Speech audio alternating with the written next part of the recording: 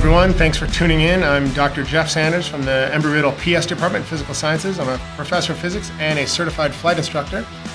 And today's topic is the physics of a simulated engine failure, also known as emergency approach to landing, which is one of the curricular topics in the Riddle Part 141, 142. So what happens here is you're flying your Cessna 172 Sierra model toward the south, maybe to the south practice area at some speed. You're at 3,000 feet boom, you have an engine failure. Or your IP simulates an engine failure by pulling your throttle to idle. So we want to calculate some physics. The energy of the total situation is very key. Man energy management is the key that uh, flight instructors use. So we're going to be at some height h, typically 3,000 feet is what ATC always gives us, going to the south or the north practice area. Here's the ground. We're going at some speed. You cruise at 100 knots, give or take, maybe 110 knots. We'll say 100 knots for today. And what I want to do in this first video clip is calculate just the kinetic energy of the situation. In the second clip, we'll do the potential energy and the total energy.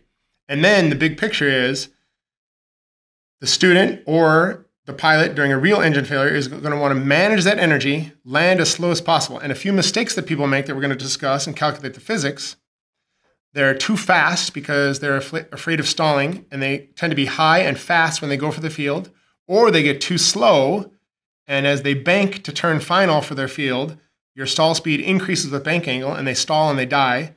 Or they make the field fine, but because they were too high and too fast, they end up with too much kinetic energy, and they end up having an accident at the end of the field when they hit the oak trees or the barn and so I'm going to compare impulse and momentum if they properly get like a wheat field or a cornfield or something.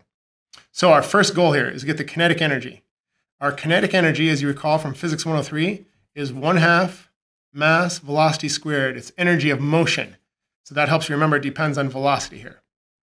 So the first thing I'd like to do is get the mass of this airplane, our mass, m. So from our mass, we're going to get that from our weight. Embry-Riddle private pilot candidate knows that the max gross takeoff weight of a Cessna 172 is 2550 pounds. 2,550 pounds max gross takeoff weight. They're not allowed to take off greater than that weight. So let's use that for this example. And we have a conversion that there's 2.2 pounds per one kilogram. In physics class, we learned how to do these convergent conversions, making sure the units cancel. And this turns out to be 1159.1 kilograms. Okay, good, that's the mass. Now we need the velocity so we can get the total energy of this aircraft. Our velocity is 100 knots. So our velocity is 100 knots. Or you can write it out K-N-O-T-S, which comes from the history of nautical uh, sailors where they actually threw a rope out with knots in it and counted them and used a stopwatch or an hourglass or something. For us, this means 100 nautical miles per hour. So remind yourself that knots means nautical miles per hour, just like feet per second, meters per second. It's got to be some distance per time. So we want to convert this now into the units for physics class and make this into meters per second. Remember, our goal here is to get the total kinetic energy for step one. So we all know that a nautical mile is uh, slightly longer than a statute mile, a regular mile that we're used, used to and the conversion is 100 knots is 115 miles an hour. So one nautical mile is 1.15 statute miles. Nautical miles cancel. We all know that one statute mile is 5,280 feet. Statute miles cancel. And remember, our goal is to get to meters per second. You might know of a quicker conversion. The one I know in my head is one foot is 12 inches. And from chemistry class, I know one inch is 2.54 centimeters. Our inches cancel, our feet cancel. We're getting close. We now need meters. So 100 centimeters is one meter. Centimeters cancel. And one more step. One hour is 3,600 seconds. Why? Because there's 60 seconds in a minute, 60 minutes in an hour. You crunch all these numbers, multiply everything on top, divide by everything on the bottom, and you end up getting velocity is 51.4 meters per second. So now we're good to go. We can calculate our total energy. We have a tremendous amount of energy at 3,000 feet and a fast 100 knots.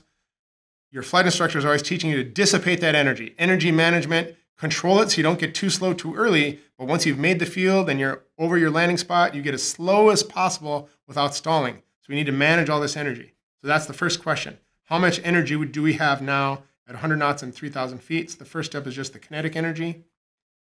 mv squared, we plug in our mass, 1159.1 kilograms. Whoops, one half.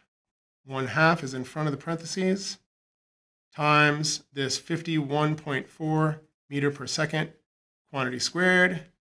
Everyone pause your video and crunch that in your calculator now. And I will write the number down, which turns out to be 1.53 times 10 to the sixth joules.